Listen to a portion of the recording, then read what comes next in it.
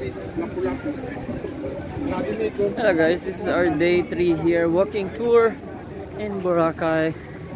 And it's a very good weather today. Unlike yesterday it was not that bad that good. So today is really good. I'll show the the sand castle and uh, yeah it's a very nice weather.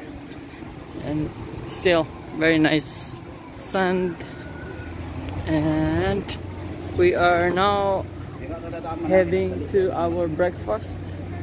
I miss the hot choco in Jollibee so we're going to go there. Hot choco breakfast meal. And uh, with mom and my sister right there. We went to our breakfast. We I swim already in the morning earlier. It was just good um, I did some activities as well. So alright. My sunglasses is here. I just kinda feel not wearing it and appreciate the natural wonders in this paradise.